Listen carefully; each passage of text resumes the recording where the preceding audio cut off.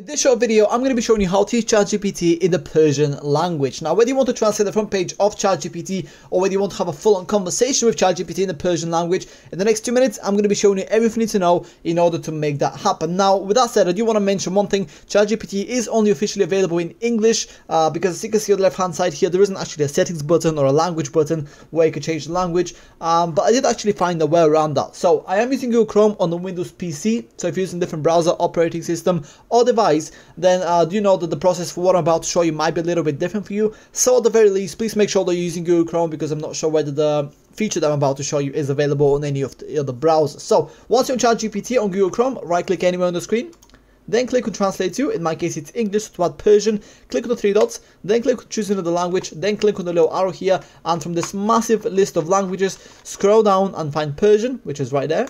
Then click on translate, and as you can see, Within just a second, ChatGPT is now translated to the Persian language. So when it comes to actually talking with ChatGPT in Persian and getting a response back, you don't need to do anything. All you have to do is really talk with ChatGPT in Persian and it will detect the language and revert back to you in that same language. So I've actually gone ahead and copied the little phrase in Persian um, asking, how are you? So uh, let's see what ChatGPT comes back with.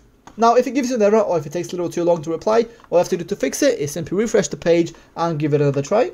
And yeah, that's pretty much it. Thanks for watching and I will catch you in the next one.